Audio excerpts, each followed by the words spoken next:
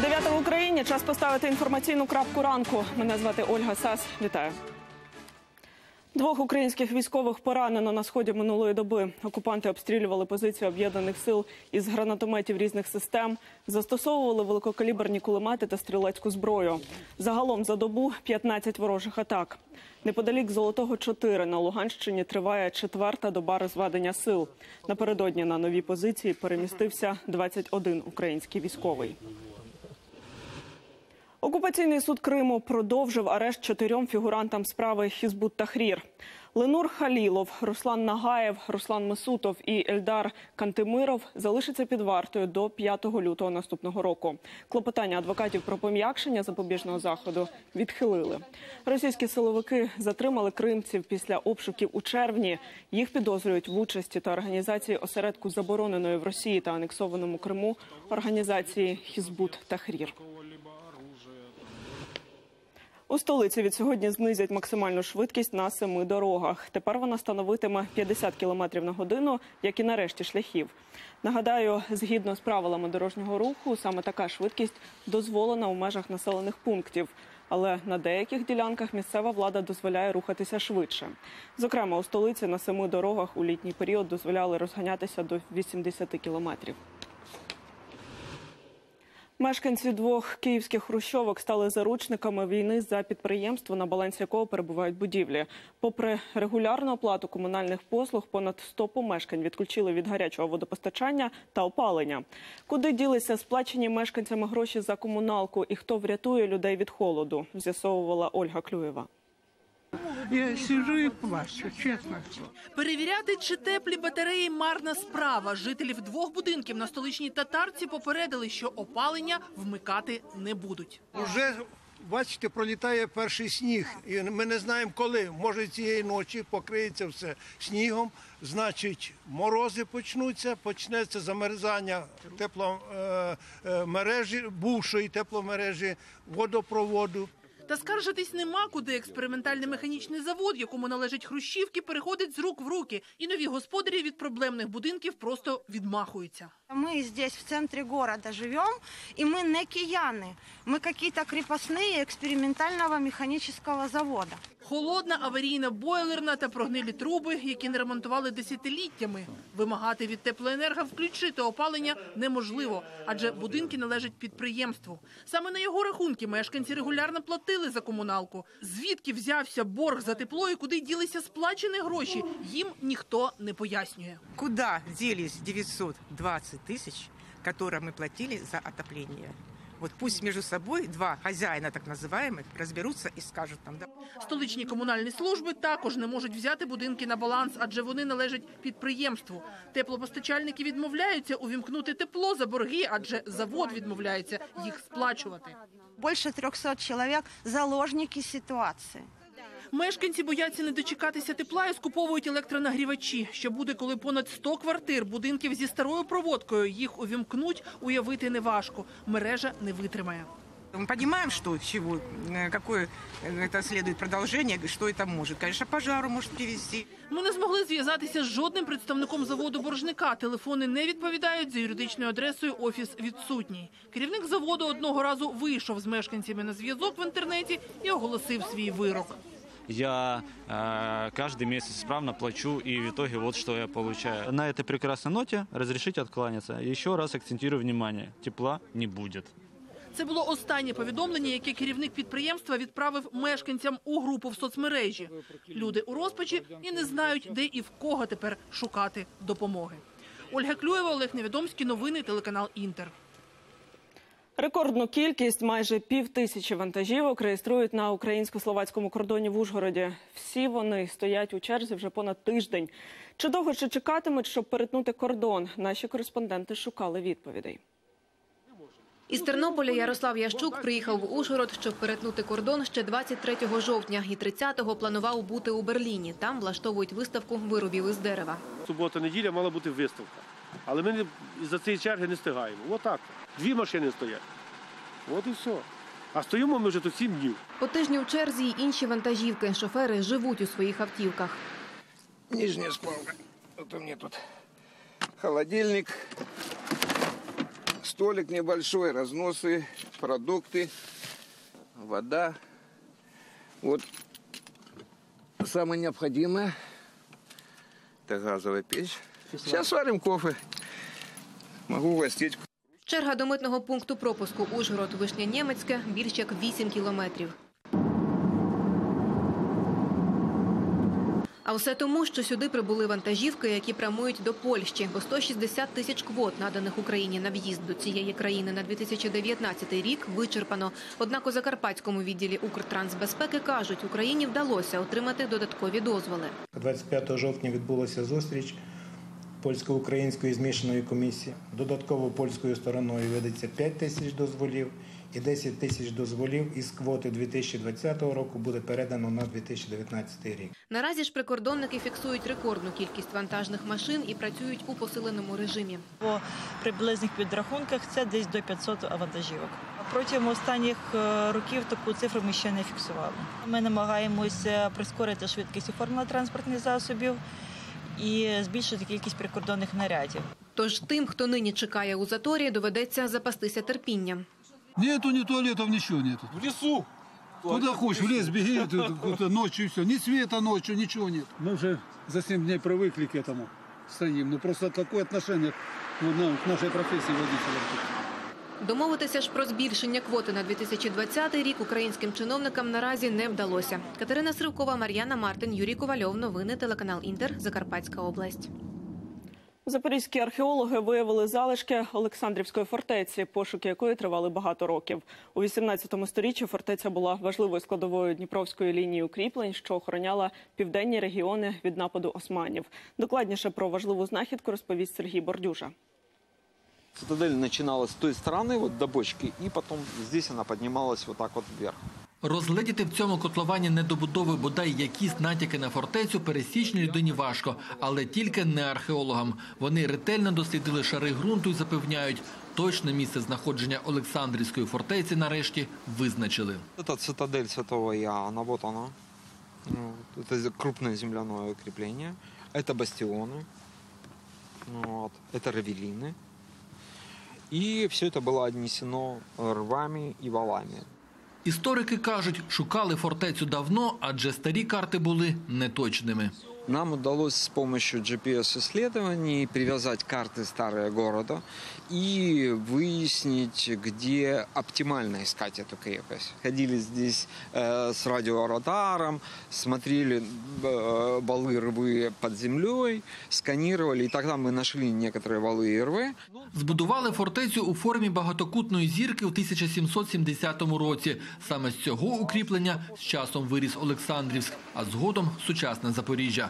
Фортеця була земляна і проіснувала недовго. Поскольку жителям неудобно, наверное, было жить на высоких валах и рвах, они ее, в принципе, начали нивелировать. То есть они начали срезать эти валы и как бы выравнивать эту плоскость. Там, де колись стояла Олександрівська фортеця, сьогодні житловий масив у серці Запоріжжя. Поруч дев'ятиповерхівки та гімназія. Педагоги кажуть про те, що місце історичне здогадувались, а тепер ще й пишаються. Утім, жартують і клопоту додалося. Дітвора бігали, дивилися, тепер вони там бігають туди. Я дуже боюсь, бо там котлован, який розритий, вони ж туди плигають туди, і вони ж питаються щось там відкопати тепер, бо реклама ж пішла.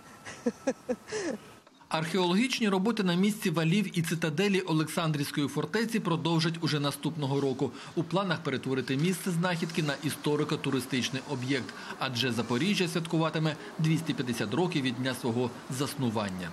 Сергій Бордюжа, Ігор Воробій, новини телеканал Інтер, Запоріжжя.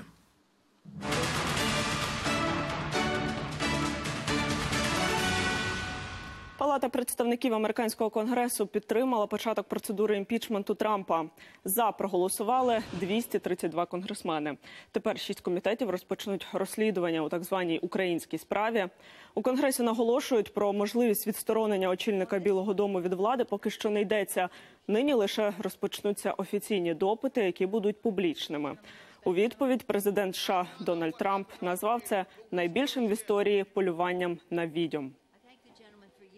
Президент не зробив нічого поганого, і демократи це знають. Ненсі Пелосі і неврівноважена одержимість демократів цією незаконною процедурою імпічменту не шкодять президенту Трампу. Вони шкодять американському народу. Замість того, щоб зосередитися на актуальних питаннях, які впливають на реальні сім'ї, демократи вважають за краще щодня витрачати час на сфабрикований імпічмент, відверто упереджену спробу знищити президента. А протестувальники в Гонконзі скористалися святкуванням Геловіну, щоб поновити протести. Мітингарі вийшли на акції в масках, які тр- традиційно вдягають на День усіх святих. Деякі з них зображали главу місцевої адміністрації Керрі Лам та голову КНР Сі Цзіньпіна. Раніше влада видала розпорядження про заборону використання масок у громадських місцях. Попри те, що офіційно під дію заборони не підпадають карнавальні маски на Геловін, поліція взялася розганяти демонстрантів та застосувала проти них сльозогінний газ.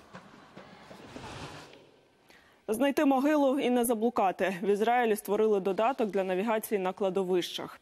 Він працює так само, як звичайний дорожній навігатор, і підказує, як дістатися потрібної могили. Розробники програми використали фотографії з безпілотників і бази даних агентств ритуальних послуг. У результаті кожному імені покійного присвоїли географічні координати місця його поховання. Творці програми вже внесли в базу даних понад мільйон могил на 30 кладовищах. Поки що додаток працює лише в Ізраїлі, але в майбутньому розробники сподіваються охопити більше країн. Хтось не був на кладовищі кілька років і тому не може знайти поховання своїх близьких, тому що всюди з'являються нові могили, доріжки, і людям здається, що вони шукають не в тому місці. А цей додаток максимально чітко і ясно покаже, як їм дістатися туди, куди вони хочуть. Поліцейські прикордонники в Австралії затримали велику партію кристалічного метамфетаміну. Для контрабанди наркотиків зловмисники вирішили використати пляшки з-під соусу чилі. Загалом вилучили понад 750 ємностей. Порошку там було на 210 тисяч доларів США. За словами правоохоронців, підозрювані добряче попрацювали, щоб соус мав автентичний вигляд. Виявлені 400 кілограмів льоду це близько 4 мільйонів доз. На чорному ринку вартість товару приблизно 210 тисяч американських доларів. У зоопарку Познані врятували дев'ятьох тигрів. Вони кілька днів без належних умов перебували у вантажівці на польсько-білоруському кордоні. Митники затримали живий вантаж, оскільки документи, як водійські, так і на тварин, були неналежно оформлені. Усі подробиці розповість Аліса Орлова. З Рима вантажівка з 10 тиграми виїхала 22 жовтня. Смугастих мали переправити до Росії, нібито до одного з дагестанських зоопарків. Везли їх у тісних клітках або взагалі у лихих дерев'яних коробках. І так майже 5 діб, поки вантажівку не зупинили на польсько-білоруському кордоні. Спочатку автомобіль відмовилися пропускати прикордонники. У водіїв італійців не було білоруських віз. Тоді вантажівка повернулася до Польщі, там за кермо пересів росіянин, а італійці вийшли. Тепер уже тигрів через неправильно оформлені документи відмовився пропускати ветеринарний контроль. Після майже тижневої дороги звірі в тих же умовах ще п'ять днів стояли біля КПП. Їх неправильно годували і не випускали з тісних кліток. Один з хижаків помер. Стан тигрів поганий. Ці тварини тривалий час зазнавали психічних і фізичних страждань. Вони травмовані. У всіх є опіки на ногах. У деяких немає зубів. В одного з тигрів пошкоджені кіхті. Вочевидь, намагався дряпати підлогу клітки. В останні дні хижаків годували курятиною з магазину.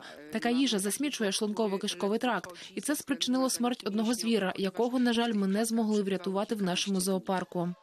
30 жовтня польська поліція заарештувала водія за звинуваченням у жорстокому поводженні з тваринами. А польська ветеринарна інспекція звернулася до зоопарків країни з проханням прихистити хижаків. Відтак сімох тигрів погодився прийняти Познанський зоопарк. Ще двох звіринець у місті Чулухов. Для транспортування смугастих бранців довелося задіяти антитерористичний підрозділ польської поліції. Нам вдалося врятувати життя дев'ятьом тиграм. Ми не знаємо, як довго триватиме їх лікування. Один із звірів у вкрай поганому стані, і його очі повні справжнього відчаю. В якій тісноті, в якій темряві вони сиділи, просто жахіття. Сиділи у власних випорожненнях, голодні та налякані, очікували своєї смерті. У Польщі тигрів збираються вилікувати і переправити до Іспанії у спеціальний центр.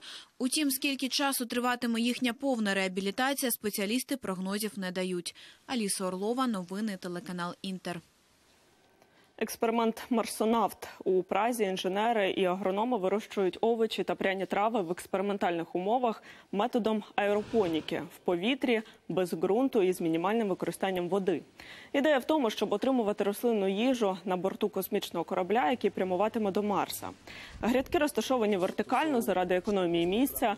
Перший урожай листового салату, м'яти, базиліку, редису і гірчиці вже виростили. Його продегустували добровольці. На черзі вирощування полуниці. У лабораторії аеропоніки створені спеціальні умови і освітлення. Завдяки додаванню живильного розчину рослини досягають правильного дорослого розміру. Смак чудовий, адже ми вирощуємо їх у контрольованому середовищі і забезпечуємо унікальними поживними речовинами. А у столиці презентували другий сезон анімаційного серіалу Книга Мандрівка Україна. До нього ж фотопроект з історичними героями. На прем'єрі побували і мої колеги. Привіт, я Михайло, і в мене завелися пластуни. Історія Роксолани, перші українські скаути, таємна зброя УПА та розповідь про найбільшу техногенну катастрофу у Європі та її наслідки. Трихвилинні ролики за мотивами друкованої книги мандрівки. Нова анімована історія України. Спочатку бу- була створена книга, яка от за моєю спиною. А потім на основі книги ми створили мультсеріал. Тому що коли ми робили книгу, ми зрозуміли, що є дуже багато фактів, дуже цікавих, вражаючих, але маловідомих. І звичайно, в книзі не можна розказати про кожен з них більш детально. Попередній п'ятисерійний сезон стартував успішно. У новому ж 45 серій по три хвилини кожна. Головний критерій відбору історій найцікавіше. Це і відомі особистості, такі як Тарас Шевченко, Богдан Хмельницький, Мазепа. Так само це і маловідомі особистості, але про які ми маємо знати, такі як Юрій Кнурозов, який розшифрував писемність Мая, або Іван Полюй, який поперед рентгена, можна сказати, винайшов їх з промені. Озвучували серії мультфільму відомі українці. Розповідають, працювати було нескладно, бо матеріал цікавий і для них самих. Це серія, яка присвячена розстріляному відродженню. Це Курбас, Остап Вишня, який сидів, але вижив. Це Микола Хвильовий. І це якраз та ситуація, коли їх вони існували, існували, творили, творили, і раптом 37-й рік і